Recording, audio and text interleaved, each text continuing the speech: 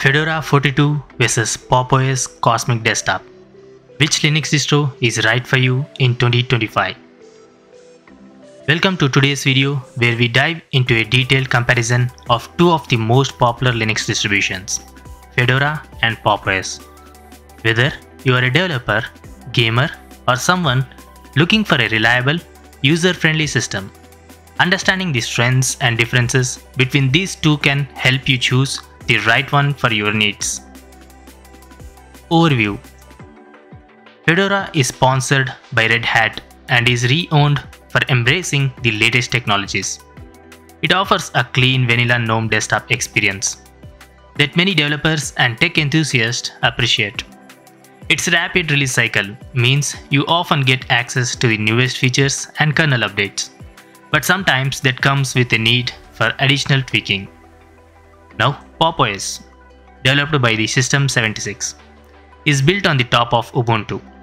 It's designed to offer a polished out-of-the-box experience, with special emphasis on hardware integration and performance optimizations, with a focus on productivity and gaming, especially for NVIDIA users. PopOS streamlined the process so you can get up and running quickly.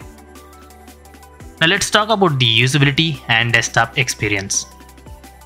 Fedora's approach is to provide a pure GNOME experience. Its interface is straightforward and minimalist, appealing to users who prefer a system that is close to upstream software. However, some users might need to install tweaks or extensions to customize the desktop to their liking. Now, Pop! OS. Pop! OS takes usability a step further by integrating custom enhancements into GNOME environment. The result is a refined interface that emphasizes ease of use and productivity. It's particularly attractive for those transitioning from other operating systems, thanks to its familiar layout and simplified workflows. Both distributions are designed with performance in mind, but Pop! OS often wins out for those who want a system that just works from the moment you install it. Now let's talk about the performance and stability. First, the Fedora. Fedora is known for its bleeding edge updates and modern kernel versions, which means it's always on the forefront of innovation. This commitment to the latest technology can sometimes introduce minor instabilities, but it's a boon for users who need the latest software features. Now let's talk about the Pop! OS. By contrast, Pop! OS is geared towards stability and performance, especially for resource-intensive tasks like gaming and creative work. Its integrated driver support, particularly for NVIDIA GPUs, ensures that hardware compatibility is as smooth as possible right from installations.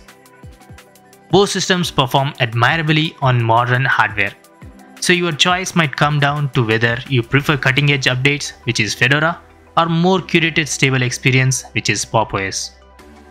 Now let's talk about the package management and software ecosystem. First, the Fedora. Fedora uses the DNF package manager with RPM packages. Its repositories are comprehensive, though you may sometimes need to enable third-party repositories for proprietary softwares or drivers. Now let's talk about the Pop! OS. With its Ubuntu roots, Pop! OS relies on the APT package system.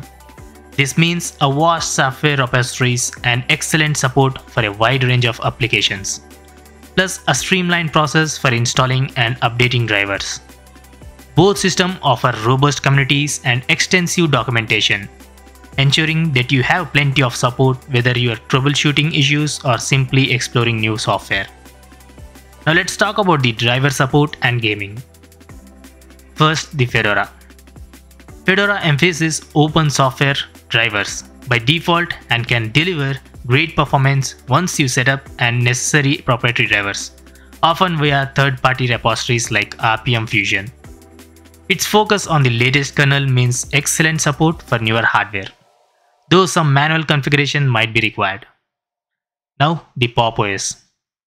Pop! OS stands out with its out-of-the-box support for NVIDIA graphics.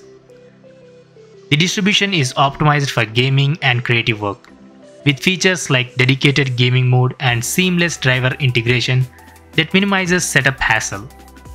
For users who prioritizes gaming or rely on specific hardware optimizations, PopOS might have the edge, while Fedora offers a more open source first approach that appeals to developers and enthusiasts who enjoy a bit of extra configuration.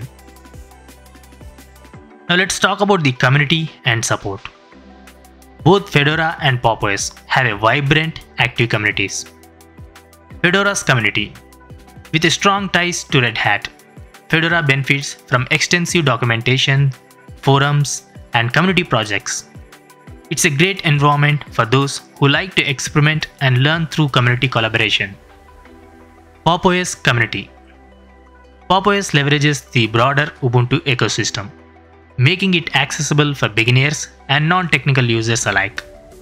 The friendly support channels and extensive online resources make it easy to troubleshoot common issues. Your experience with the community support will largely depend on your comfort level with Linux. Fedora's community might be more appealing if you incline to dive deep into configuration and customization, whereas PopOS offers a more streamlined experience. Now finally let's talk about the conclusion. In summary, choosing between Fedora and PopOS comes down to your personal priorities. Choose Fedora if you are a developer or tech enthusiast who value cutting edge updates and a pure GNOME experience, and you're comfortable with a bit of extra tweaking for the latest features. Choose PopOS if you prefer a highly polished, user-friendly system that works seamless out of the box especially if you are into gaming or creative work and need excellent hardware support. Both distros are excellent choice for 2025, and your decision will ultimately reflect your workflow and preferences. Thank you for watching this comparison. If you have any questions or want to share your experience, drop a comment below. Don't forget to like, share and subscribe for more Linux insights.